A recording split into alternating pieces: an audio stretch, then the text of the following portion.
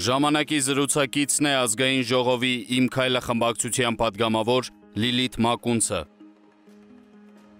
Ազգային ժողովի պատվիրակությունը պաշտոնական այցով ամերիկայի միացյալ նահանգներում էր, պատվիրակության կազմում էիք նաև դուք։ Ինչ օրակարգով էր ազգային ժողովի պատվիրակությունը ԱՄՆ-ում։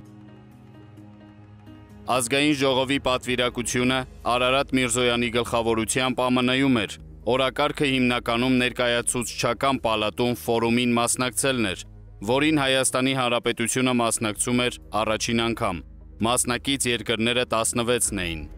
Բացի ֆորումի ձևաչափից մենք Վաշինգտոնյան այցի շրջանակներում հանդիպումներ ենք ունեցել կոնգրեսականների, նաև փորձագետների հետ։ Արարատ Միրզոյանը բարձր մակարդակով հանդիպումներ է ունեցել ներկայացուցչական պալատի նախագահի եւ Սենատի հանրապետական խմբակցության ղեկավարի հետ։ Այցն ուներ ամերիկյան գործընկերների հետ ծանոթության նպատակ, նաև Հայաստանում տեղի ունեցած գործընթացներին եւ ընթացիկ բարեփոխումներին նրանց ծանոթացնելու նպատակ եւ հետաքրքրվել, թե որ ձևաչափով Ամերիկայի Միացյալ Նահանգները կարող է աջակցել այդ ժողովրդավարական գործընթացներին։ Անդրադառնանք հայաստանյան իրադարձություններին, որոնք վերջին շրջանում գերազանցապես ծավալվում են սահմանադրական դատարանի շուրջ։ Տպավորություն կա, որ քաղաքական մեծամասնությունը չի կողմնորոշվում այս հարցում։ Սահմանադրական դատարանի շուրջ ստեղծված իրավիճակն իհարկե խնդրահարույց է եւ մեր չշտապելը պայմանավորված է նաեւ հենց դրանով, որովհետեւ փորձում ենք հասկանալ, թե որն է լավագույն ուղին։ Վահե Գրիգորյանի նամակն ուղված էր թե նախագահին, թե կառավարությանը, թե ազգային ժողովին եւ բոլորը կարծես թե չեն շտապում հայտարարությամբ հանդես գալ։ Միանշանակ արձագանք լինելու է ազգային ժողովի կողմից, թե ինչ ձևաչափով, ինչպես, չեմ կարող ասել, որովհետև այս պահին ազգային ժողովն արձակուրդում է։ Իհարկե լոկալ աշխատանքային խմբերով մենք աշխատում ենք եւ սա չի նշանակում, որ սահմանադրական դատարանի շուրջ ստեղծված իրավիճակը օրակարգում չկա։ Իսկ ինչ է նշանակում չշտապել։ Չշտապել նշանակում է չանել այնպիսի քայլեր, որոնք սխալ կամ կոպիտ սխալ կլինեն։ Բայց ինչ դուք չեք շտապում, տպավորություն է ստեղծվում, որ սահմանադրական դատարանի շուրջ ստեղծված իրադարձություններն են թելադրում քաղաքական օրակարգ Հայաստանում։ Ես այդպես չեմ կարծում։ Այն, որ խնդիր կա եւ խնդիրը պետք է լուծվի, դա միանշանակ է, բայց սահմանադրական դատարանի շուրջ ստեղծված իրավիճակը որևէ կերպ չի խաթարում Հայաստանի Հանրապետության կյանքը։ Հավանաբար ծանոթ եք 7 կուսակցությունների հայտարարությանն այս առնչությամբ։ Այո, ծանոթ եմ։ Որպես կուսակցություններ, քաղաքական միավորներ իհարկե կարող են հայտարարություններ անել, ներկայացնել իրենց դիրքորոշումները, բայց նրանց օրակարգը եւ մեր օրակարգը տարբերվում են միմյանցից։ Մենք շարունակելու ենք աշխատել մեր օրակարգի շրջանակներում, որի հրամայականը լայն վստահությամբ մեզ տվել են նաև Հայաստանի Հանրապետության քաղաքացիները։ Այնուամենայնիվ, կա փակուղային տրամադրություն կապված սահմանադրական դատարանի հետ։ Սահմանադրական դատարանի շուրջ ստեղծված իրավիճակը իրավական եւ օրենքի դաշտում պետք է հանգուցալուծում ստանա, բայց պետք է դիտարկենք նաեւ այս հարցի բարոյական բաղադրիչը։ Հայաստանի Հանրապետության կառավարությունը, ազգային ժողովը կամ Հայաստանի Հանրապետության նախագահը մենք բոլորս իհարկե բացի քաղաքական պատասխանատվությունից նաև բարոյական պատասխանատվություն ենք զգում իրավիճակը շտկելու առումով բայց հատկապես սահմանադրական դատարանի ներկա նախագահ Հրայր Թովմասյանը եւ առհասարակ սահմանադրական դատարանը պետք է կրեն բարոյական պատասխանատվություն։ Մարդկանց անվստահությունն առաջին հերթին պայմանավորված է այն ճանապարով, որով Հրայր Թովմասյանը դարձել է սահմանադրական դատարանի նախագահ։ Այդ ճանապարհը մերժելի է եւ անընդունելի է Հայաստանի Հանրապետության քաղաքացիների կողմից բարոյական տեսանկյունից։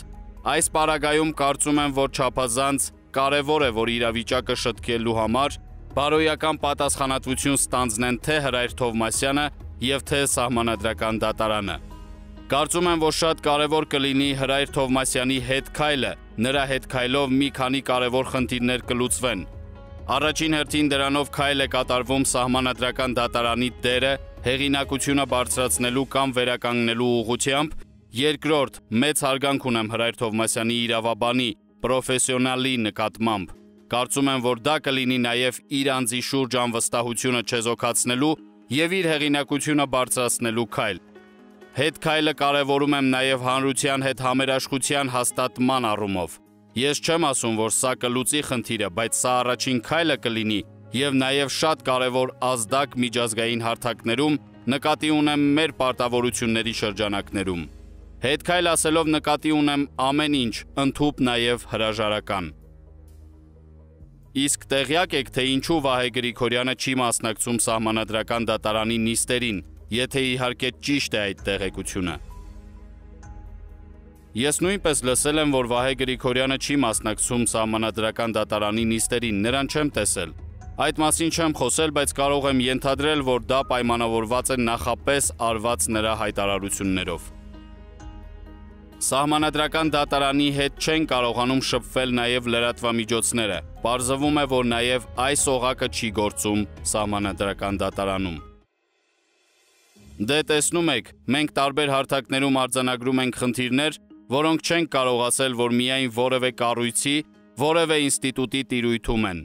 Կրկնում եմ, խնդիրը միանշանակ պետք է լուծվի իրավական եւ օրենքի դաշտում, բայց խնդիրն ունի նաև բարոյական կողմ որը անտեսել չենք կարող եւ այնինչ անընդունելի է, մերժելի է, ժամանակը ցույց է տվել, որ հետագայում ունենում է հետևանքներ։ Ձեզ հայտնի է նոտարական գրասենյակներում ինչ չարաշահումների մասին է խոսքը, ինչը նույնպես կապված է Հրայր Թովմասյանի անվան հետ։ Ոչ, տեղյակ չեմ։ Նյութի աղբյուր, ժամանակ, օրաթերթ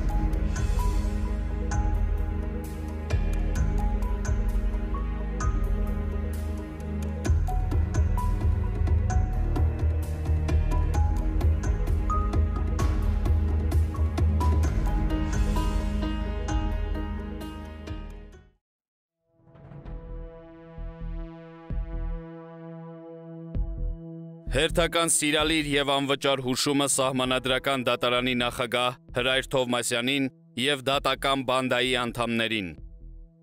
Հրայր Թովմասյան, քանի շուտ է գլխիդ ճարը տես, Դավիթ Գրիգորյանի քեզ ուղարկած ծանրոցը յետ ուղարկիր իրեն եւ հրաժարականի դիմումը գրիր։ Facebook-յան իր էջում գրել է քաղաքագետ հանրային խորհրդի անդամ Ստյոպա Սաֆարյանը, նշելով պատճառները, թե ինչու պետք է Թովմասյանը հրաժարական տա։ Առաջինը. Այսօր փաստաբան Ալեքսանդր Սիրունյանը հանցագործության մասին հաղորդում է ներկայացրել գլխավոր դատախազություն, հատուկ քնչական ծառայություն եւ այլ մարմիններ մայիսի 20-ին դատավոր Դավիթ Գրիգորյանի կայացրած որոշման հակաօրինականության եւ հակասահմանադրականության վերաբերյալ ու քրեական գործի հարուցումը 7 սարի հետևում չէ, քանզի հաղորդագրության մեջ թվարկված ու ներկայացված ապացույցներն առայն որ դատավորը գործել է կամայականության ու ինչ-ինչ շահագրգռությունների դաշտում, ոտնատակ տալով օրենք ու սահմանադրություն, այլևս անառարկելի է։ Երկրորդ, Հայաստանի Հանրապետության վճռաբեկ դատարանն այսօր ձեզ բոլորիդ ՀՅԴ-ի ասած դեղին քարտ ցույց տվեց, մեղադրելով սահմանադրորեն ձեզ վերապահված շրջանակները գերազանցելու մեջ։ Երորդ, ԶԼՄ-ներով հրապարակվել են քեզ սահմանադրության եւ օրենքների պահանջների խախտումով սահմանադրական դատարանի անդամ, ապա նաեւ նախագահ նշանակելու փաստեր եւ ապացույցներ տրամադրված ազգային ժողովի աշխատակազմից եւ բացառված չէ, որ քո հարցերն ավելի արագ լուծվեն ազգային ժողովում սահմանադրական դատարանի անդամի ընտրության եւ ազգային ժողովի համապատասխան որոշման չեղյալ համարելու տեսքով։ 4. ՀՅԴ-ի, ՀՀԿ-ի, Քոչարյանի միասնական ջանքերով, ահռելի միջոցներով կազմակերպված հանրահավաքին մի քանի 100 մարդ մասնակցեց եւ քաղաքական հարթության վրա հենարան չունես։ 5-րդ Արագացված անցումային արդարադատությունը եւ վեթինգը պաշտոնապես սկսվում են վաղվանից, երբ խորհրդարանը կարծում եմ հրավիրված լսումների հիման վրա որոշում կընդունի այն նախաձեռնելու եւ դրա ժամկետների մասին։ 6-րդ Շուտով մենք հուշկու հանրահավաքով ձեզ հյուր կգանք ավելի մանրամասն բացատրելու եղելությունը Պոլինա Գագարինայի Կուկուշկա, Դրամի Բոլշը նետ, Սպիկտակլ Ակոնչեն եւ Թաթայի տեսար ինչ եղավ երկացանկով։ Դուք արդեն շրջափակված եք։ Նայիր Արամ Սիմոնյանին եւ հասկացիր, թե ինչ պետք է անես։ Նյութի աղբյուր Arm Times